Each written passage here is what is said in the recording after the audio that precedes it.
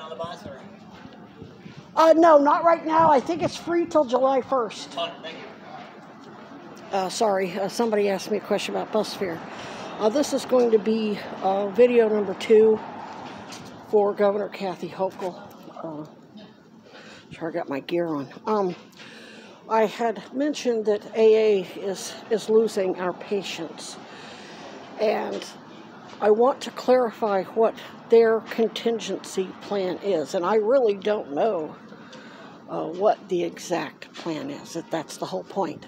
Because they're locking me up on psych wards, uh, forcing me to take unnecessary psychiatric medication that then causes heart attacks, uh, and then dispensing Valium or a benzo in New York. They dispensed, I think it was Ativan, which helped stop the chest pain and the, and the heart attacks. What I believe are heart attacks. That pain's unmistakable. Uh, I don't have angina. Uh, and the blood work certainly supported that from the ER visit to St. Peter's in Albany with a BNP of 400. That was about five or six weeks after I was discharged from ECMC. It didn't jump up to 400 immediately, it took time. Uh, I've had heart attacks with it at 99. Um, so basically, let's roll the tape all the way back. We started our investigation because of threats against me and Chad Cronin. Chad was threatened too. Uh, and he didn't realize his dad was involved in all of that at the time when he called Kim Mann, the supervising Florida assistant dis- state's attorney, is what they call him up there in Orange County. His former coworker pulled her out of court. There will be a record that court had shut down, so she could go answer his call, or I don't know if he was put on hold or she called him back or what.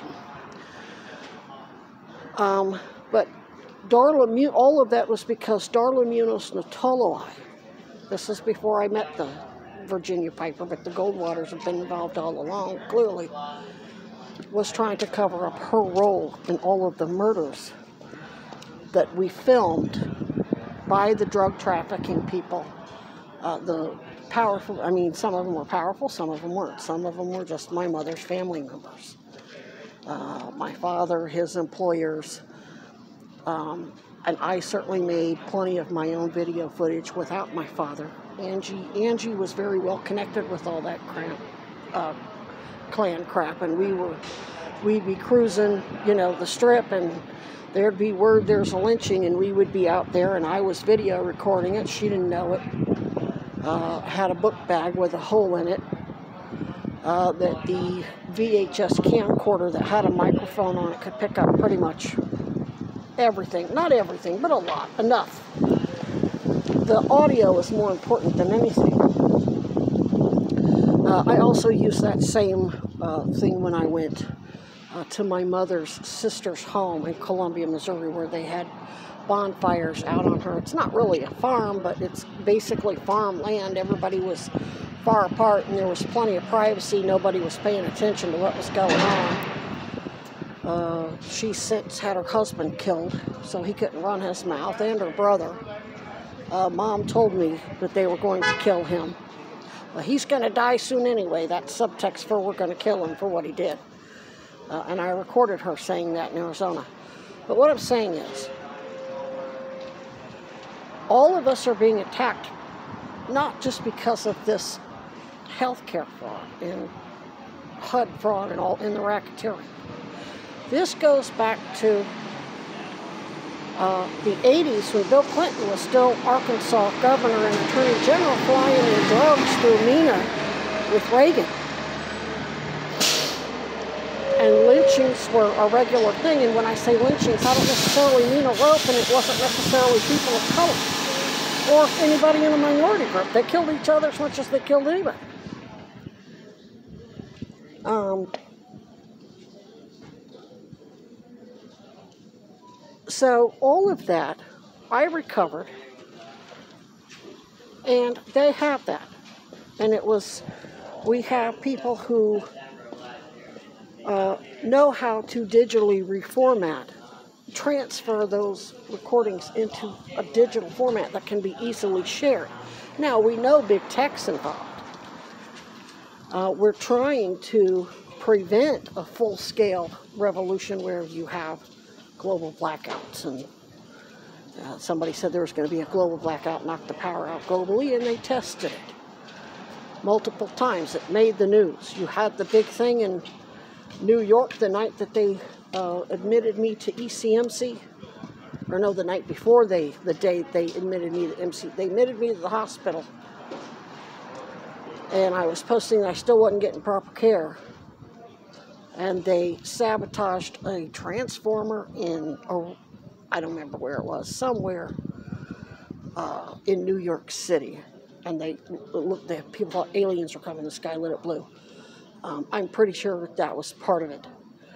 Uh, based on what I read, I don't know that for fact. And then there was the uh, communications outage through Comcast, where there was a bad card.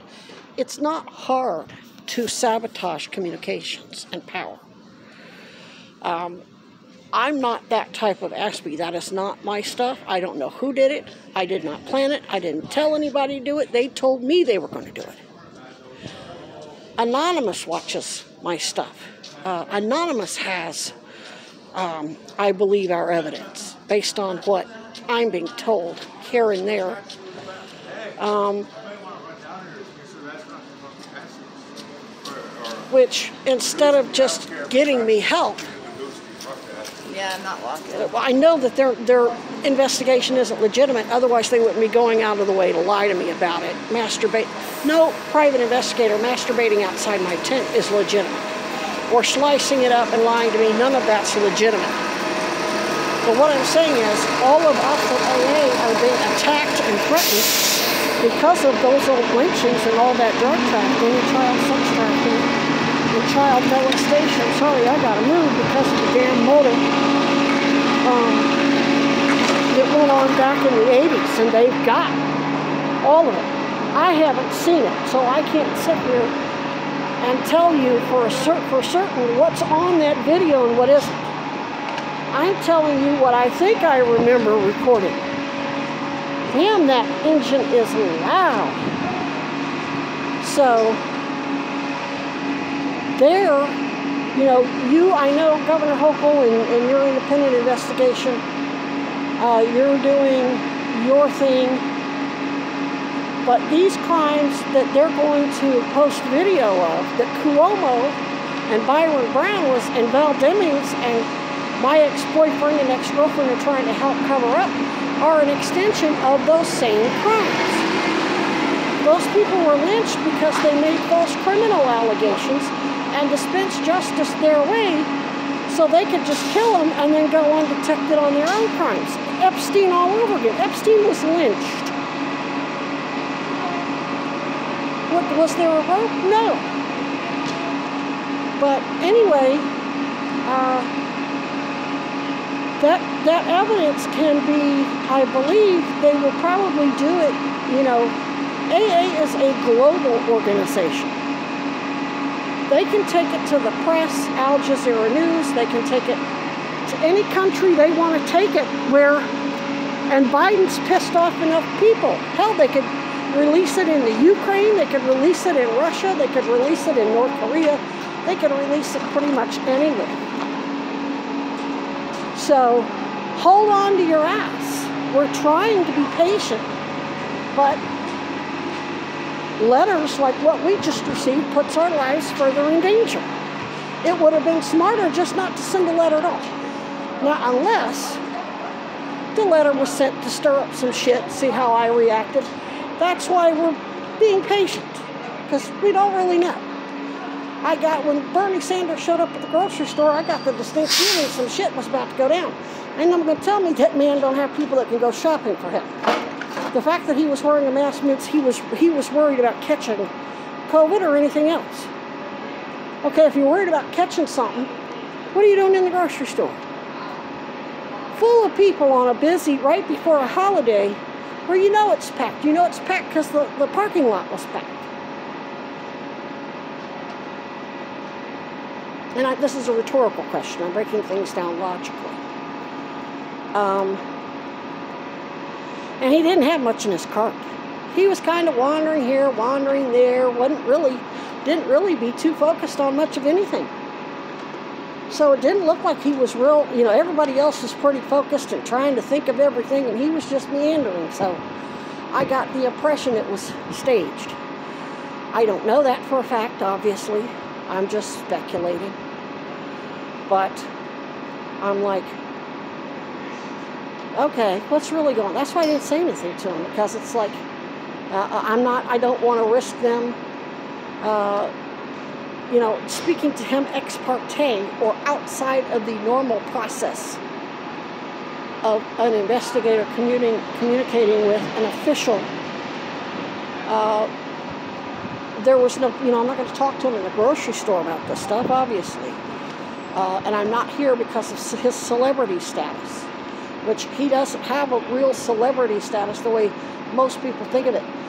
You, you see how corrupt your state is and that's pretty much global and people are desperate and they want to believe that somebody out there is fighting for us and that gives them hope to keep doing the right thing and to not end up like all the people who overdosed in their hotel rooms and are still overdosing on a regular basis because they think because the system's so damn corrupt they can't imagine anybody ever caring enough and plus with his i know he's I believe he's trying to uh, be undercover, going along. Everybody is saying he's a ship.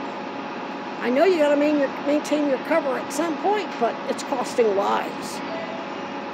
And we're not going to internalize that crap. We've been through too much. Our battle stress is too much. We're already fighting for life. I'm not a real addict or alcoholic in the normal sense. I just had issues, and we now know the medication was the problem, and the medication those pharmaceutical companies pled guilty in criminal court. So that's not that's a a given at this point. Uh, but others in the program don't have my sobriety because they are truly easily triggered. I can go pick up a bunch of beer cans, dump the beer out, and I'm not triggered. I'm not thinking about a drink. A lot of them can't do that. So I don't know really know what they're going to do, but they're going to go public at some point. If, if you know, the more I'm when Kevin Pounds, who is a cop, he's a executive director at a at a uh, Champlain Inn shelter that is listed as a an agent of the Chittenden Unit for Special Investigations, and he's at the grocery store with me.